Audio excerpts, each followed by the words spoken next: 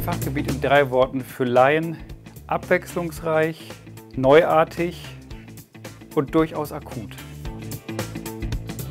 Das Beste an meinem Fachgebiet ist, dass es erstens eine endlange Tradition hat, also ganz viel an Erkenntnissen schon hat, auf die man zurückgreifen kann.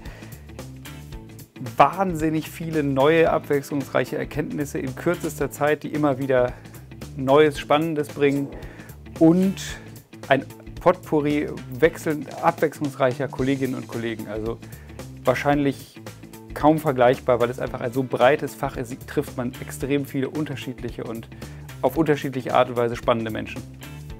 Warum mein Fachgebiet beim DocSlam gewinnt, ist relativ einfach, weil es das Fachgebiet ist, was einfach am meisten Benefit für Patienten hat und dementsprechend auch das meiste Interesse schürt. Das Herz ist einfach das zentralste Organ, da gibt es gar keine sinnvolle Konkurrenz.